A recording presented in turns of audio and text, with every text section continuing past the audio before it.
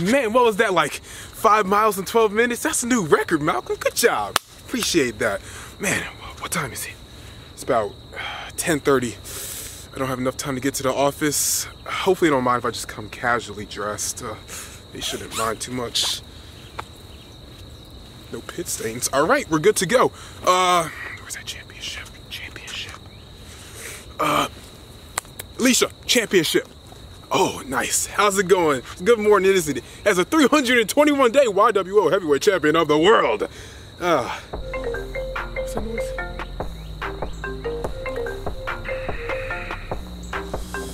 Oh, it's Dexter again. Oh no. Every time I answer this, something bad happens with that kid. What's his name? What's that kid's name? Dr- Drake? Maverick? Never was Drew. Maybe it was I mean, Alejandro or something. Uh, I'll, I'll answer it. Dexter, what's up, man? Nice?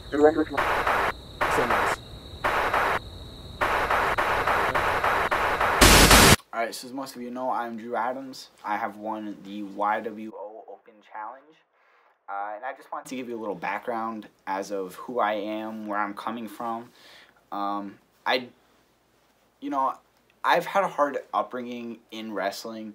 You know, it has always been a dream of mine. I've always thought to myself, you know, how can I make it? And, you know, when I win the YWO Open Challenge, I mean, I, I know I made it for sure.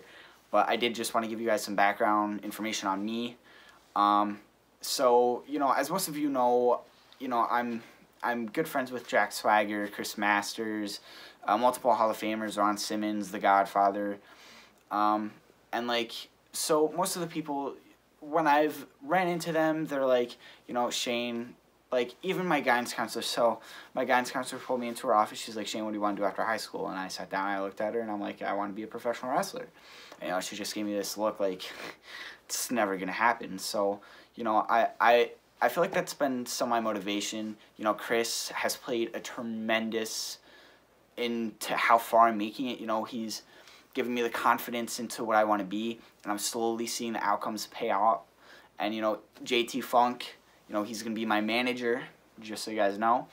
Uh, you know, he's the same way. Everybody backstage who I've met, you know, some of the greatest people who I've ever met on this planet is through wrestling, and I truly mean that. You know, everybody backstage is family to me.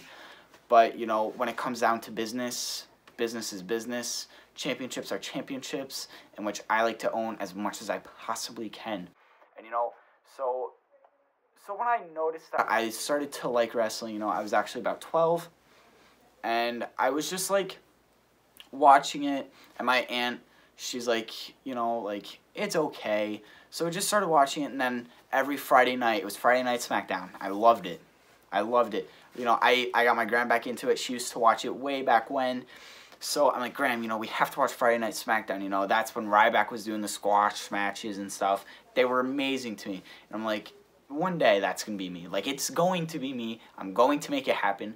So you know, I I honestly put my mind to it. I'm like, what can I do? So I started figure shows, you know, AFE figure shows, and that's actually what got me training as early as I am, believe it or not.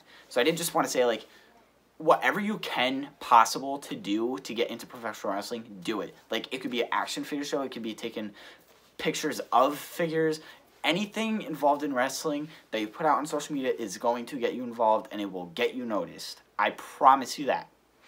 So, you know, I feel like I've worked very hard for all my opportunities I have gotten. You know, like Jack Swagger hasn't just walked up to me and said, "Hey, you know, you look like a decent kid, so I'm just gonna train with you." You know, you you you have to work for what you want.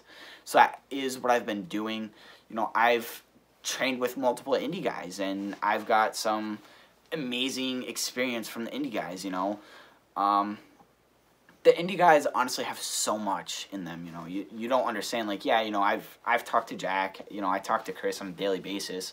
But I mean, like, the indie guys are truly the guys who are doing it, like night in, night out. You know, Jack was doing it, but now he's training for Bellator and stuff. You know, so he's giving me some amazing advice that's making me as successful as I am.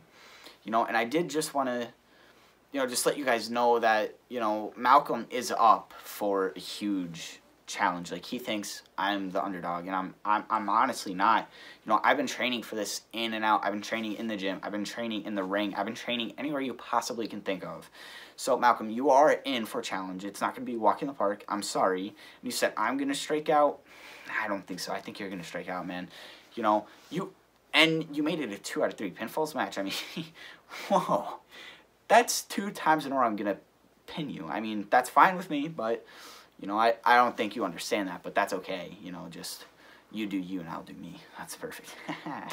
so, you know, I am going to walk out as a YWO champion, as most of you know. Honestly, I do have more experience than Malcolm in the ring. I, I do got to say, you know, it might not be a lot. Actually, it is a lot. You know, I've been in the ring with the WWE champion, Jack Swagger, Chris Masters. Those are people who have been in the WWE, who have made it. So I did just want to end out by saying, uh, Malcolm, I I do apologize, but if you do want, we can do this the easy way, and you could just hand me the YWO Championship, save yourself a couple breaths. That's fine with me. You know, you just let me know. Um, for all of you guys who put in those video submissions, they were good. You know, don't get me wrong, but nothing to what I have put up. I mean, I think it's great that you guys put in those video submissions. Like, I applaud you for that. Just like Malcolm said, good for you. You came out of your shell. That's great. But on the side note, I did say in the promo I did win, so you guys should have just started messaging me and saying congratulations. You guys can congr congratulate me in the comments below. So, uh, Malcolm, I did just want to say you are in for one hell of a fight July 29th. And that is all. And the YWO Championship will be around my waist. See ya. Yeah, I saw the video. Of course they didn't like it. Why do you keep adding him in the videos? just go give me a coffee and then fire yourself. Everything I used to dream being real right now, now, now. If it wasn't working, I'ma work it out, out, out, yeah. I keep on going till the lights